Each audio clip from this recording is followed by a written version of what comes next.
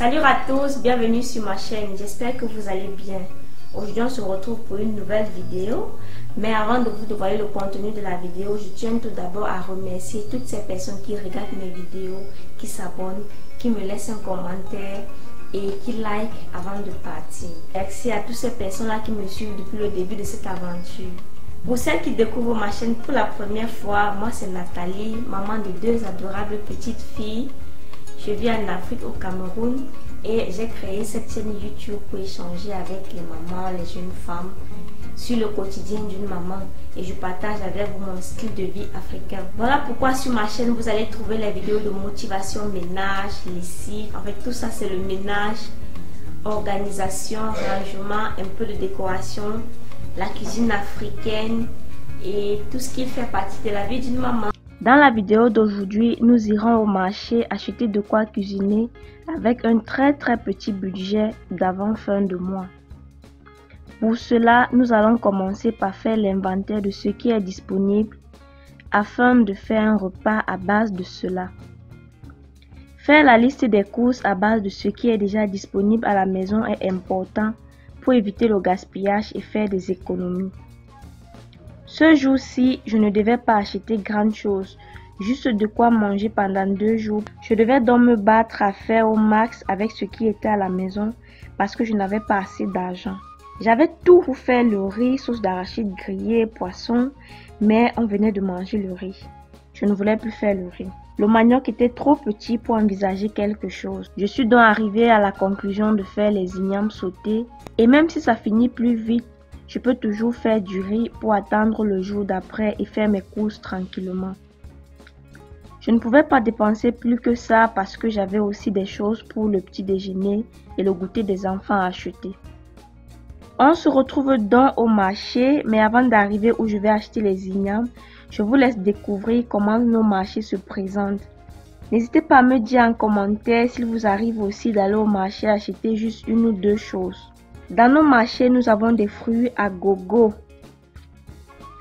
du bio, du vrai bio, hein? pastèque, ananas, orange, casse-mango, papaye, les produits de saison ont toujours des prix plus bas que les produits cultivés hors saison et ils sont souvent plus savoureux qu'accueillis à maturité.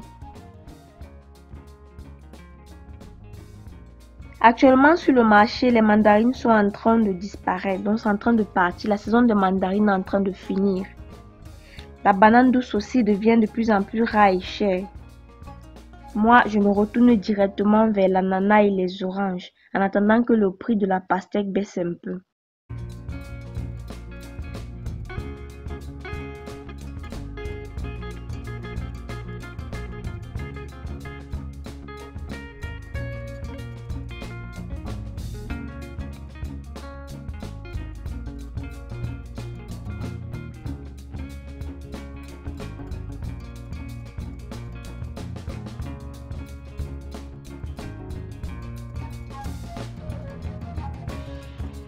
Ici, je vous montre les épices quand ce n'est pas encore écrasé.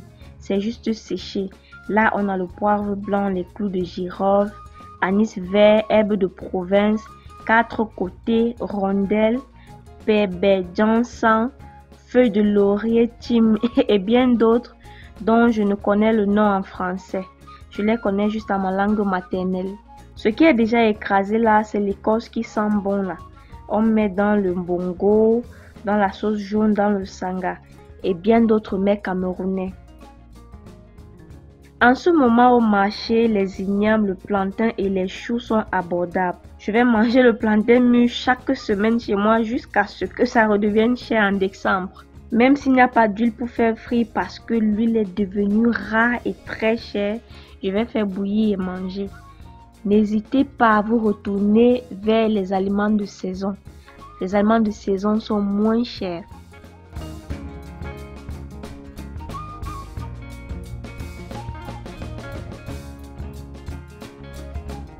Les pommes de terre sont aussi devenues chères. Là maintenant, je passe à côté en regardant ailleurs. Les pommes sont vraiment devenues chères. Là, c'est la betterave rouge. J'ai mis le ralenti pour que vous puissiez bien voir.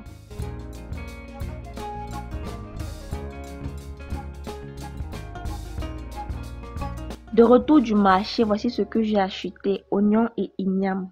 Je vais faire le sauté un peu comme on fait les pommes sautées.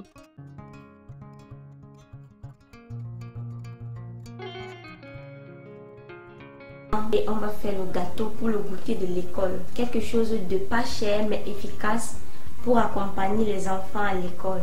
Donc c'est une autre idée de lunchbox pour l'école.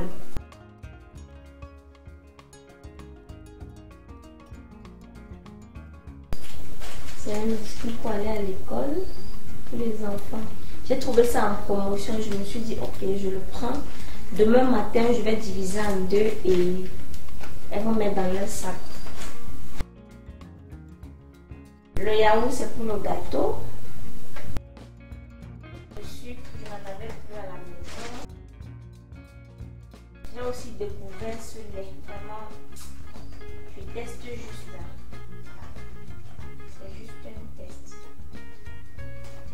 Y avait un rayon avec des filles bien habillées là qui présentaient le lait. Bon, je me suis dit, ok, on teste pour voir. Et puis dans le lait, il y a un petit cahier. Un petit cahier offert. Ils sont vraiment en train de faire la promotion de leurs produits. J'ai également pris la farine. Farine ma copine. C'est une farine camerounaise. Actuellement sur le marché, c'est la moins chère des farines.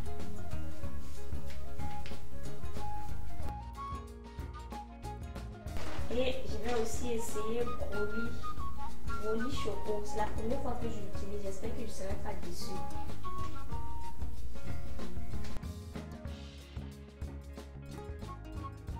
Et puis j'ai aussi acheté quelques oranges.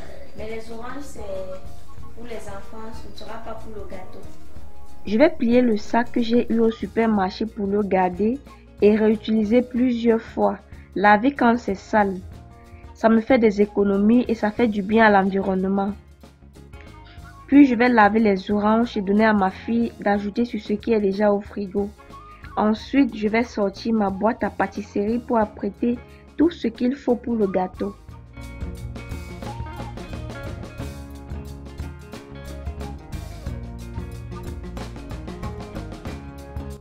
Souvenez de ce beurre C'est le reste de beurre avec lequel j'avais fait le gâteau à l'orange. Je vais l'utiliser.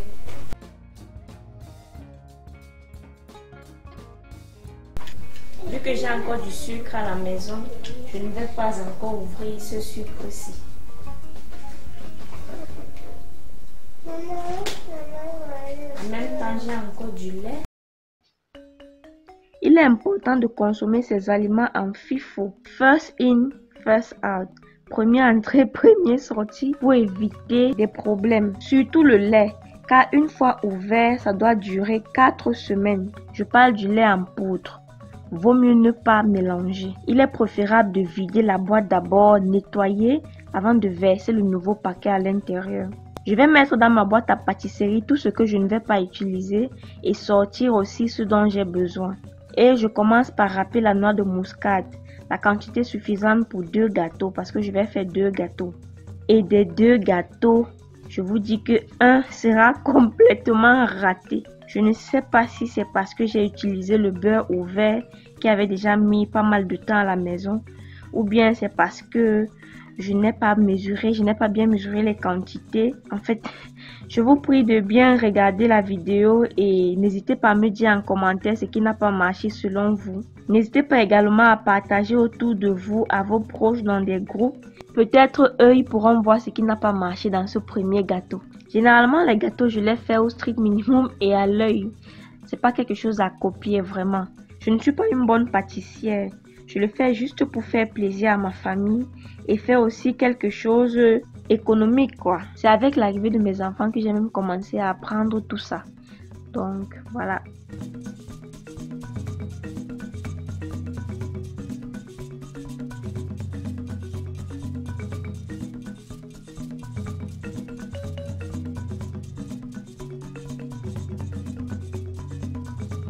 Je vous mets les ingrédients que j'ai utilisés en description. Je ne saurais donner les proportions.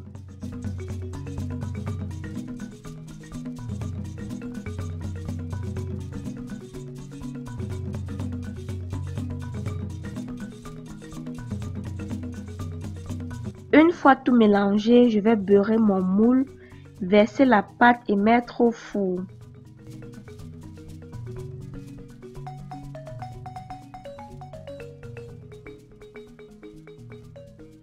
Je viens faire le deuxième gâteau en essayant de mesurer avec une boîte de yaourt.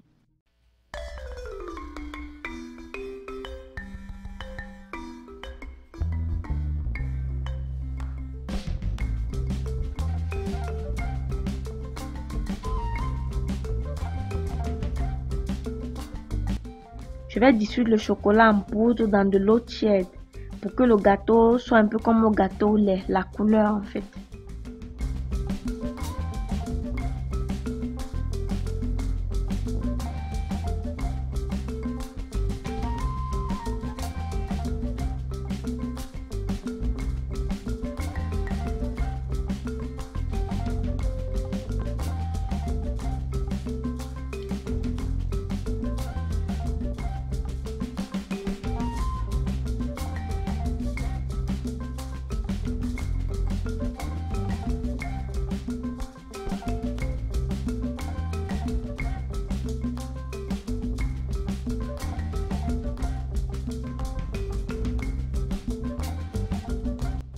Après avoir tout mélangé, je vais beurrer mon moule pour que le gâteau ne colle pas et que ça se démoule facilement. C'est la même chose que j'ai fait pour le premier gâteau.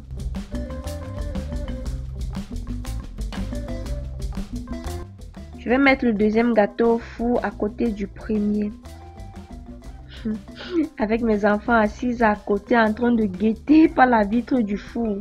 Au moindre mouvement du gâteau, elle m'appelle.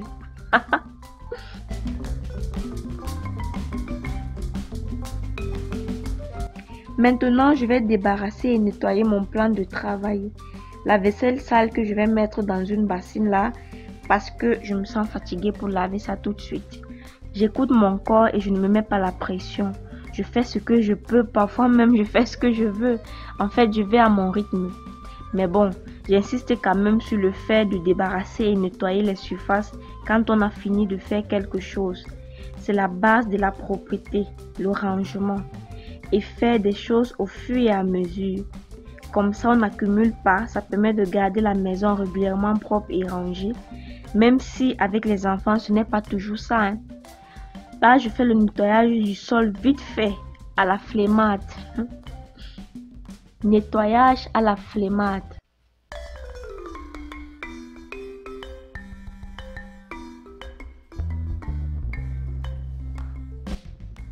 Puis on vient sortir notre premier gâteau qui n'a pas du tout gonflé, qui s'est brûlé et qui est mal tendre. Oh, ce gâteau complètement échoué.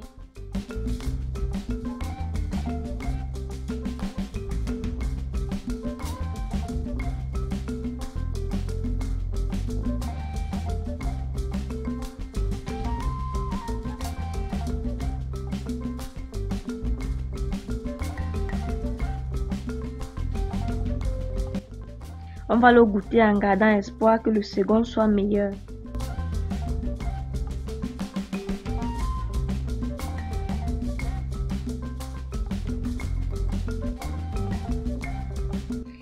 Et heureusement, le second n'a pas brûlé, ça a bien gonflé, ça s'est facilement démoulé et c'est aussi plus bon dans la bouche. Je ne sais pas si c'est parce que le second, si j'ai utilisé l'huile pour le faire vraiment essayez d'analyser aussi et me dire en commentaire s'il vous plaît.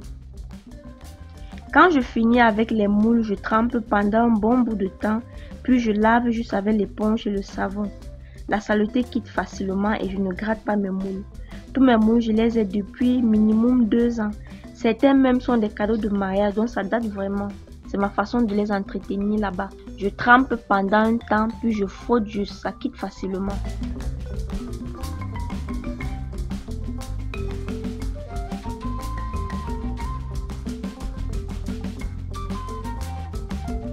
Pendant ce temps, mes gâteaux ont bien refroidi. Je les mets dans une boîte. Les enfants vont prendre le petit déjeuner avec et aussi aller à l'école. L'assiette qui est là, vous l'avez vu en début de vidéo dans le congélateur. C'est deux morceaux de poisson que j'avais gardés. Le matin donc, je vais faire frire cela aux filles et accompagner avec l'un des gâteaux. Certainement celui qui a réussi. Et celui qui n'a pas réussi, là, vont juste prendre le lait avec.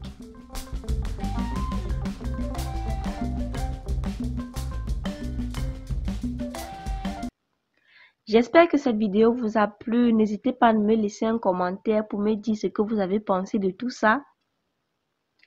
Abonnez-vous s'il vous plaît pour me permettre de franchir la première étape sur YouTube. Portez-vous bien et on se retrouve très prochainement pour une nouvelle vidéo. Bye bye